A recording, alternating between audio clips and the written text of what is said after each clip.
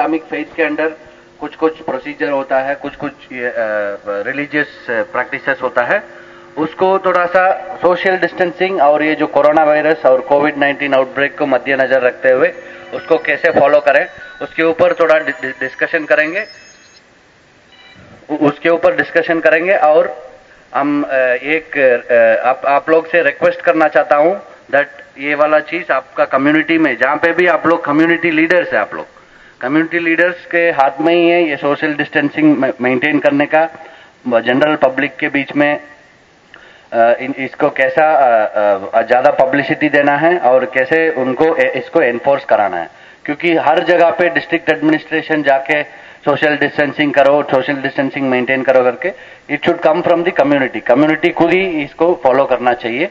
इसलिए आप लोग को बुलाया है and we have called all our elected representatives और हमारा एमएलए एमपी वगैरह को बुलाया है और हमारा पॉलिटिकल पार्टीज़ को भी बुलाया है एंड बाकी जो कमिटीज का members secretaries and all that उन लोग को भी बुलाया सो so, मैं ये सुनना चाहता हूँ दैट आप लोग का कहने का क्या है? हमारा मेन एम इसका जो मेन एम है सोशल डिस्टेंसिंग सोशल डिस्टेंसिंग चाहिए और हमें कोई कम्युनल प्रॉब्लम नहीं होना चाहिए। इसलिए हम लोग सबको बुलाया है और I would welcome everybody to this meeting and हमारा ओसीस लोग भी है, जो ग्राउंड में जो ओसीस है और कुछ कुछ सर्कल ऑफिसर्स भी है, जो ग्राउंड लेवल पे इसको एनफोर्स करेंगे।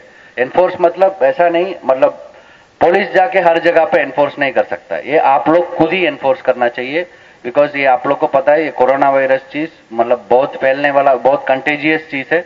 इसी के लिए आप लोग को बुलाया।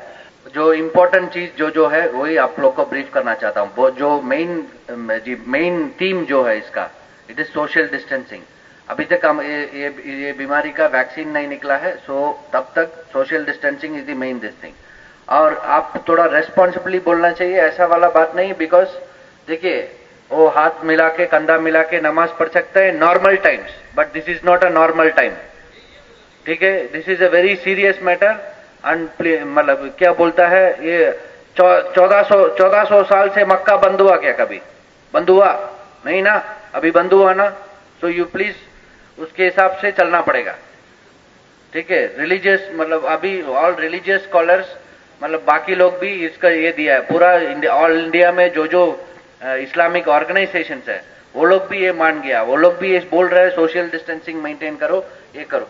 And all of them all of them मतलब all Muslim organisation have agreed to the fact that वो सोशल डिस्टेंसिंग मेंटेन करने से ही हो, हो, होगा।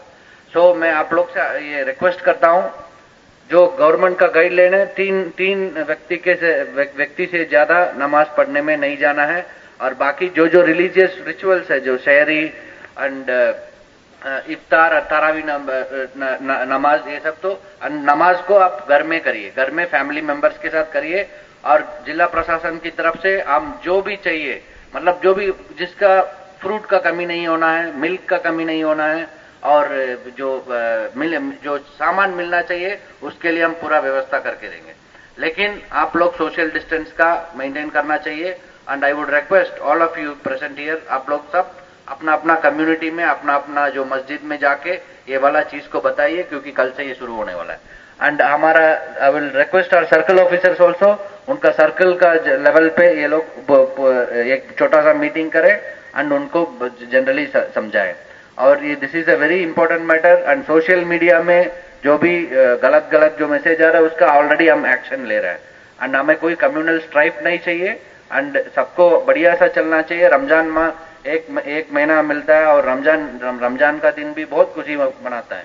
ठीक है? So I would I would request you all to maintain social distance and celebrate नमाज़